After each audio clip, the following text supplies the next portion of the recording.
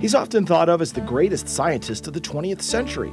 George Washington Carver was born into slavery in 1864 in Diamond, Missouri, a year before slavery was outlawed.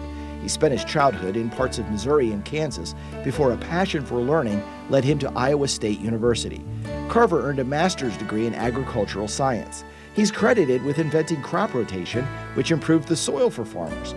George Washington Carver did not invent peanut butter, but he was affectionately known as the Peanut Man because he developed more than 300 food, industrial, and commercial products from peanuts. Carver conducted research and taught for decades at the famous Tuskegee Institute until his death in 1943. Today, the George Washington Carver National Monument stands in Diamond, Missouri at his childhood home. Black History Month on KCTV5 is proudly supported by Aetna Medicare Solutions.